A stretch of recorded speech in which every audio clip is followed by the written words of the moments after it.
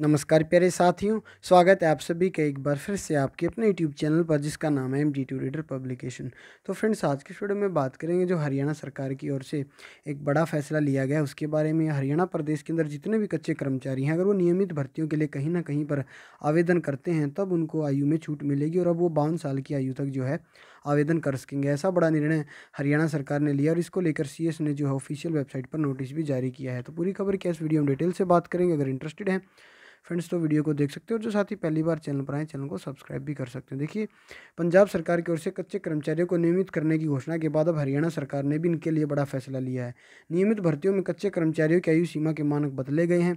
अब सरकारी विभागों, बोर्ड, निगम आदि कच्चे कर्मचारियों को नियमित भर्तियों में अधिकतम आयु सीमा में दस साल की छूट दी है। यानी अब ऐसे कर्मचारी बावन साल तक आवेदन कर सकते हैं। वैसे तो अठारह से बयालीस होती है, लेकिन दस साल की इनको छूट रहेगी तो ये बावन साल तक भर सकते हैं।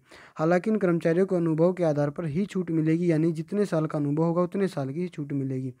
जो अधिकतम दस वर्ष रहेगी, अभी ऊपरी आयु सीमा बयालीस वर्ष निर्धारित की गई है। अब तक इन कर्मचारियों को ऊपरी सीमा में छूट नहीं थी, वे फ्रेशर की तरह ही आवेदन करते थे और रिज़र्व कैटेगरी के अनुसार ही ऊपरी आयु में इनको छूट मिलती थी।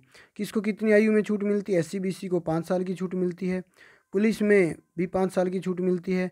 महिलाओं को सेना में दिव्यांग हुए फौजी की पत्नी है, विधवा है, तलाकशुदा महिला को पाँच वर्ष की छूट मिलती है। दो वर्षीय पति से अलग रहने वाली महिला या वह महिला जिसने शादी नहीं की, उसे भी पाँच वर्ष की छूट मिलती है। अनुबंध कर्मचारी या डोक अनुबंध व डेली वेज आदि तहत काम कर रहे कर्मचारियों को बावन वर्ष तक आवेदन करने की छूट रहेगी। उम्र उम्र में राहत एक बार ही मिलेगी, यानी कि एक बार अगर नौकरी मिल जाती है तो बार बार आप उसका लाभ नहीं ले सकते हैं। अब तक विभागों, बोर्ड और निगमों में नहीं था समान उम्र का रूल नहीं था, लेकिन अब ये कर दिया गया है। अब अगर आप इसमें कोई बदलाव करते हैं तो आपको सीएस ऑफ़िस से या सी एम हाउस से जो है मंजूरी इसके लिए लेनी पड़ेगी। तो फ्रेंड्स एक अपडेट थी जो आपको देनी थी आज के इस वीडियो में। फ़िलहाल इतना ही, धन्यवाद।